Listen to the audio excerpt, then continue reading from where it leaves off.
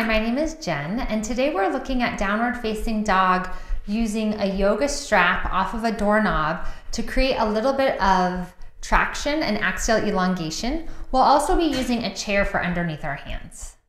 For your downward dog in the yoga belt, you'll want to make sure that you have a belt that is longer than six feet. So I'm using a 12 foot belt. And you will also want to make sure that you're using a Puna belt or an India belt that has a square closure as opposed to something plastic or a D-ring that could break or slip.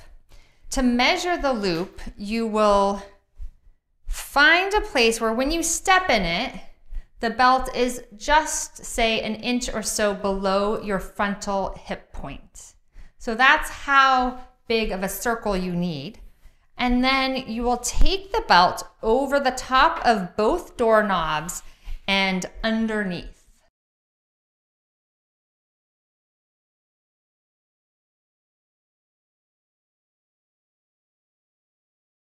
Then you'll want to come into your belt. So it's usually safest to bring the belt over the top of your head.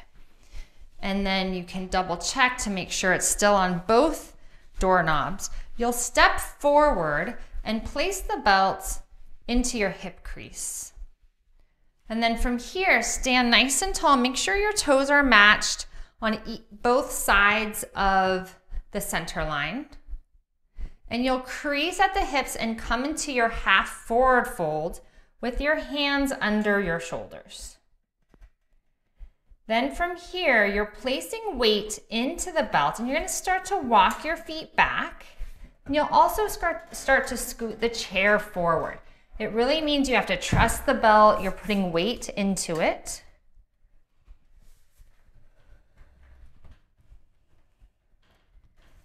And then I like to place the whole palm onto the seat of the chair. I try to have my four fingers together and my thumb apart like I'm wearing mittens.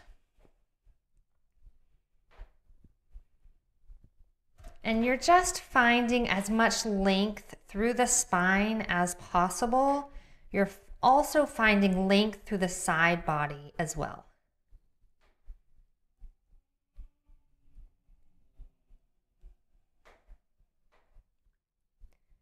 A few things to note is that we really want to stay neutral through the neck. So you don't want to be up like this with a short neck in the back. And you also don't want to let your head fall through your arms. That can be really hard on your shoulder girdle. So I am pressing the hands down into the chair and you're reaching the fingers forward while you draw the arm bones back into the shoulder socket.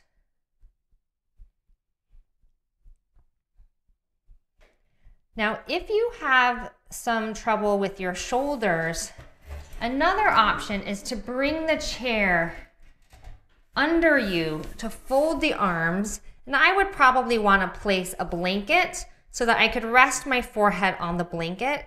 And this is sometimes um, a little bit easier on the shoulder girdle while still enabling us to get length through the spine.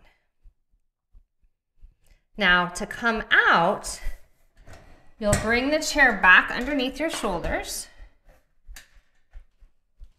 Step your feet forward. Find this half forward fold. Nice and lengthened. If there's tightness in the backs of your legs, it's okay to have the knees soft. And you want to stay here for a while because you were slightly inverted upside down, and this helps us to avoid dizziness when we stand up.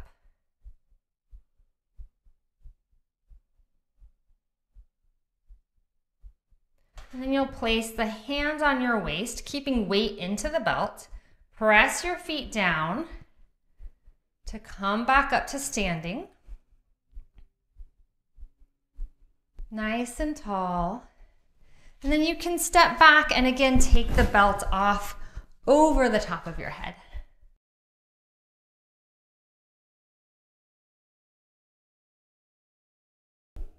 Thanks for joining me today. Once again, my name is Jen Gorman. I am a patient, advocate, and practitioner for people with spinal fusions, scoliosis, and other back care needs. If you'd like more information, you can find me at scoliosis and backcare.com. Thanks so much.